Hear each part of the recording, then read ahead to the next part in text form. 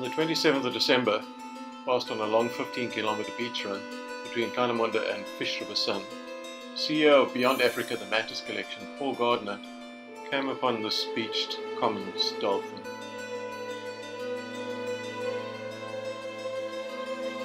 It was whilst running through a cleansing African storm that Paul came upon this creature. The dolphin was clearly alive and I was alone on a rainy beach. And despite that, I decided to jump in and try and get him back in the water, explained Paul.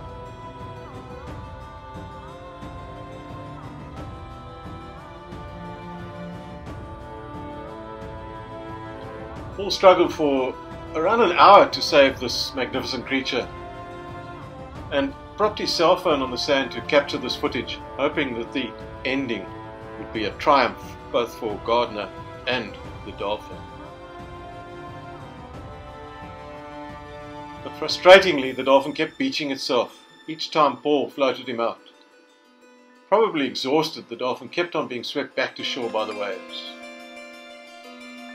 With darkness descending, Paul had to cease his rescue attempts and leave the dolphin to the sometimes cruel forces of nature. A clearly emotional Gardiner said his goodbyes and allowed nature to take its sometimes cruel course.